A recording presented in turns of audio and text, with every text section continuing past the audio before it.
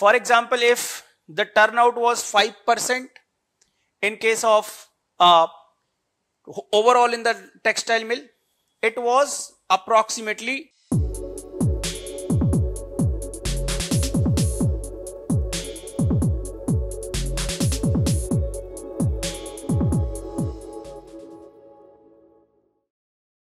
Hello everyone, welcome to Plutus IAS. Myself Vivek Raj.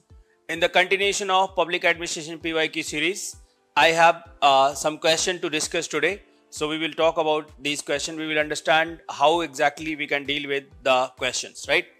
So here we have the question that is the conflict is the appearance of differences, then differences of opinion and of interest. Comment. So as you can see that this question is looking very general as all of us are aware of the nature of conflict that they used to arise because of differences. For, for example, uh, we can talk about the issues related to any any uh, you know issue for that matter. Let's say we are talking about the UCC, that is a Uniform Civil Code. So some particular people will have different kind of views. Other set of people will have different kind of views so because of that, the interest uh, conflict of interest arises or the conflict arises. Okay. So I mean to say the question is looking very general, but definitely we are aware of that this question is the is based on the ideas given by the Mary Parker Follett. Okay. So first of all, we should be aware of that it is based on the Follett's idea and I believe that we will be having idea about the views of Follett. Okay. So let's read the statement once again. Conflict is the appearance of differences and difference of opinion and of interest. Okay. So these are the differences, difference of opinion and interest. It is because of all these factors the conflicts are arising. As I mentioned that any issue, any conflict that is arising, it is because of some differences of opinion and the interest. Definitely it is the case. Can we say uh, can we talk about any other example? Yes. For example, uh, earlier we were having the old pension schemes. Then we had the uh, new pension scheme NPS. Now we got the UPS. Okay. So people may have difference of opinion with respect to uh, these particular pension schemes or people in larger context we can talk about that people may be having differences with respect to the parliamentary form of government or the presidential form of uh, system right so people can be having differences in any of the issues, right? So based on this, uh, uh, if we are talking about the uh, demand of this question, so first of all, one should talk about how the conflicts are arising. Okay, conflicts are arising. First of all, once you set the background that conflicts, how the exa how exactly the conflicts are arising, how they are arising because differences and differences of opinion and interest, then you will be talking about the Mary Parker Follett definitely. What exactly are the views of Mary Parker Follett with respect to the conflicts? So, as per Mary Parker Follett, the conflicts are conflicts are are socially valuable differences. Valuable differences. Right? Conflicts are socially valuable differences. Mary parker follett highlighted. So as the question is about conflict of appearance of differences and difference of opinion and of interest so first of all, you will be setting the stage, giving the background how the conflicts uh, arises with some example. Okay, with some example, you will be explaining how conflict arises as I gave some example. Okay, then after that, you will be saying, uh, you will be talking about the Mary Parker Follett that as per Follett, the conflict themselves or conflict inherently are not always destructive right? They it's it is not something that we should avoid altogether.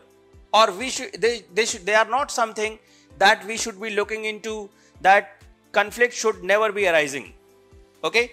But in contradiction to all these things Mary Parker Follett highlighted conflicts are bound to happen and conflicts are not always destructive. It is the manner in which you are dealing with the conflicts and that manner will be deciding whether the conflicts will be constructive or they will be uh, destructive.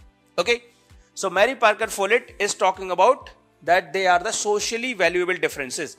Because till the time conflicts will not be arising then definitely new ideas will also not be coming.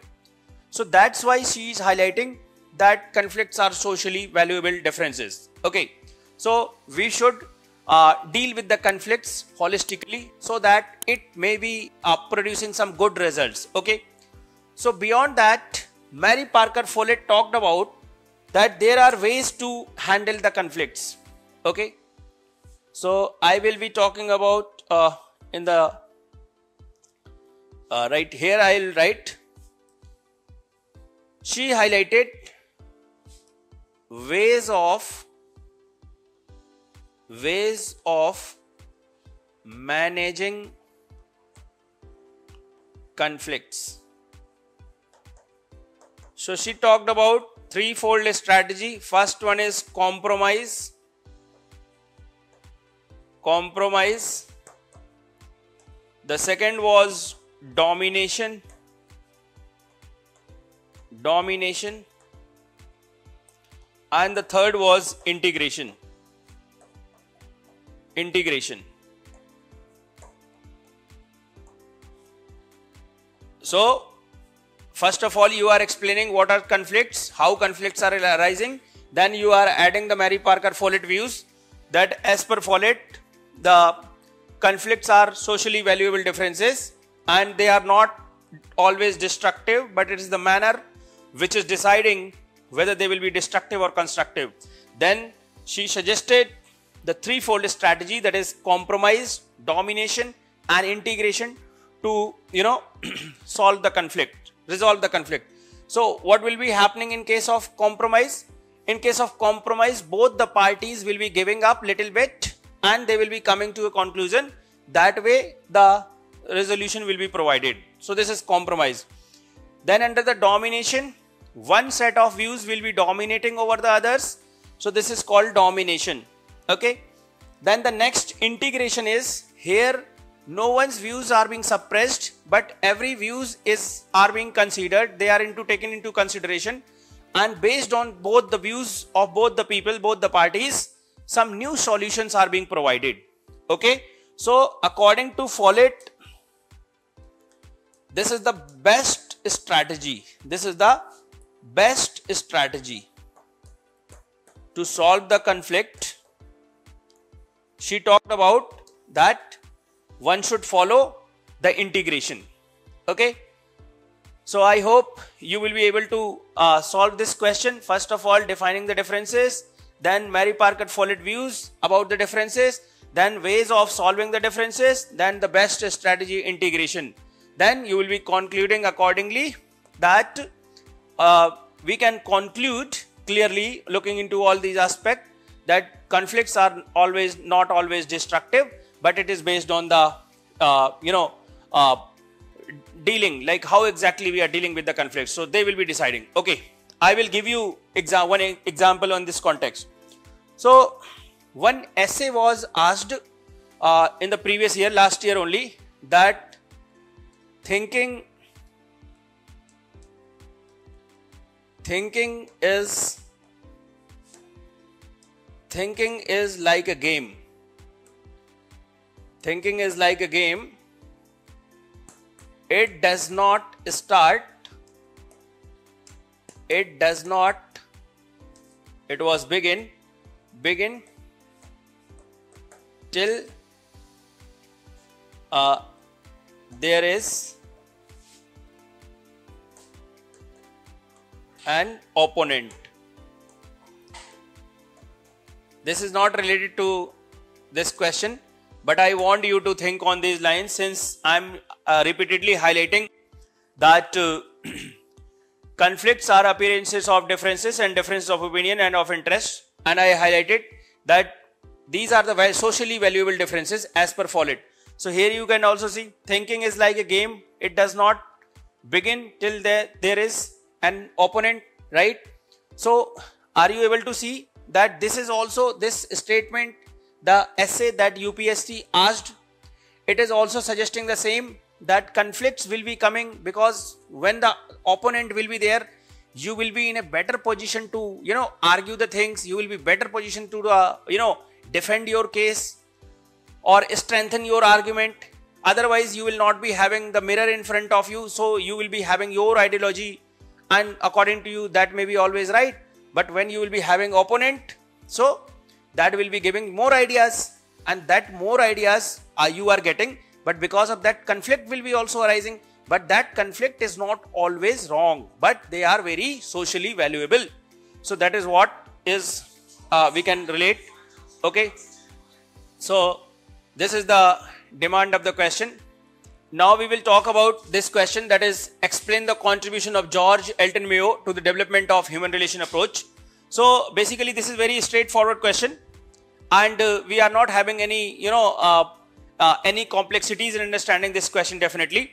So how exactly you are supposed to deal with this question is that uh, first of all you should focus on that the contribution of George Elton Mayo to the development of human relation approach. Okay.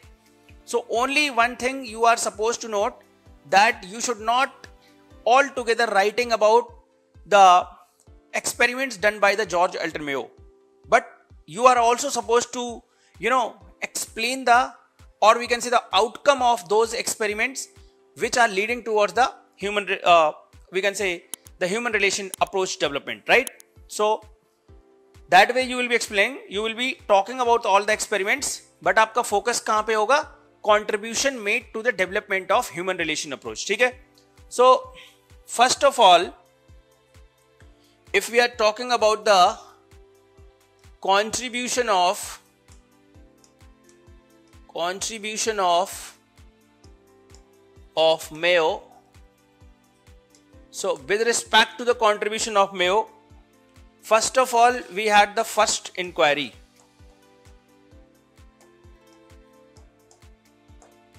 First inquiry. This is an experiment and uh, the name is first inquiry because this was the very first experiment of Do uh, Mayo, Elton Mayo, right? What exactly happened in this?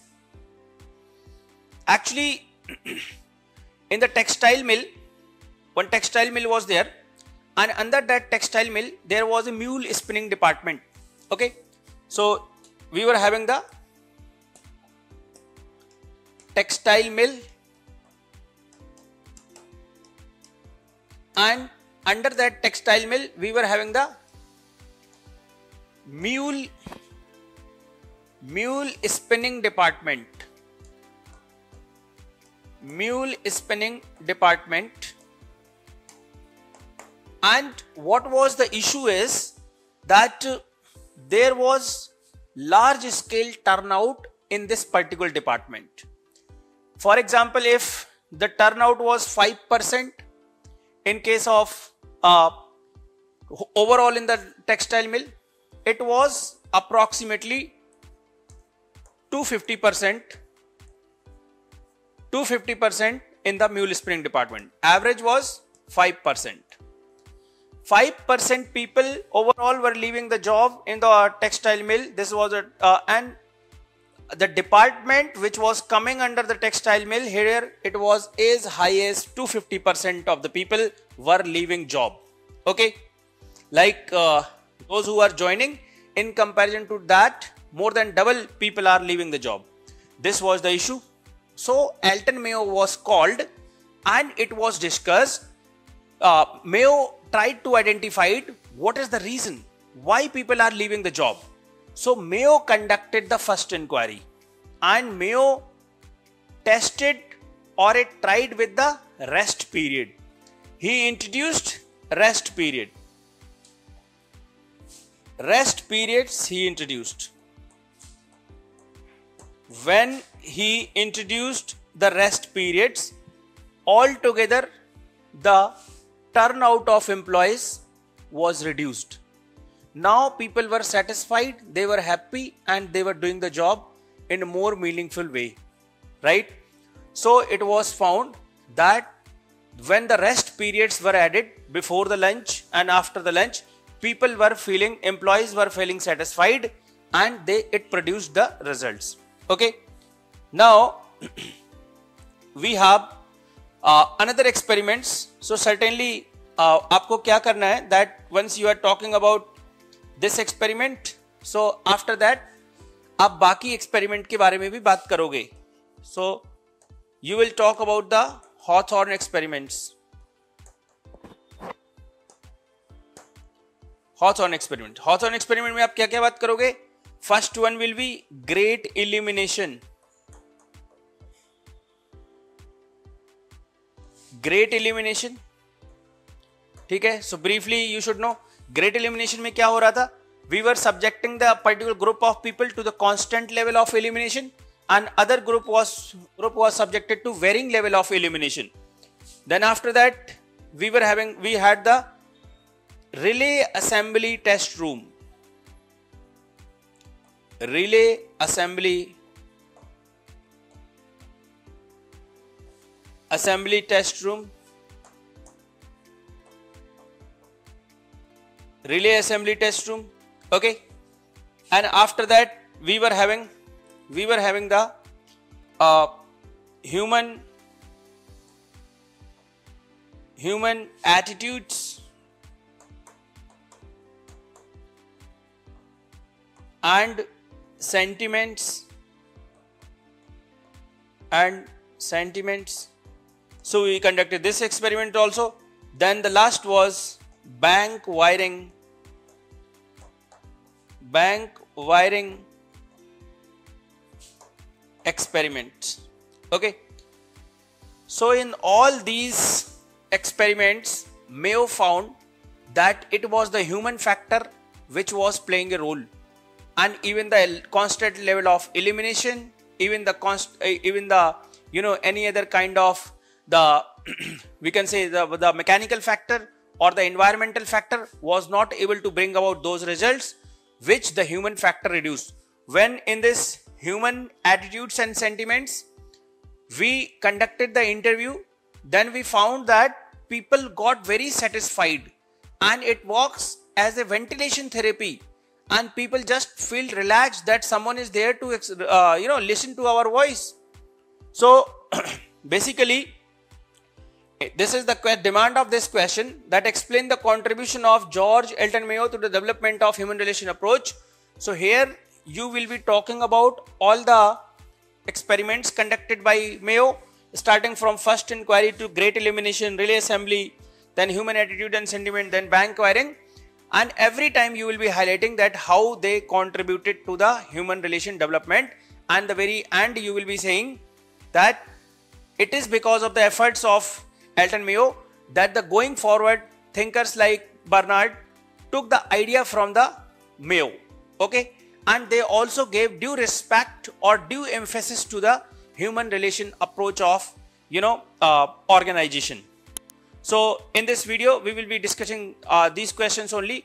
We'll meet in the next. Thank you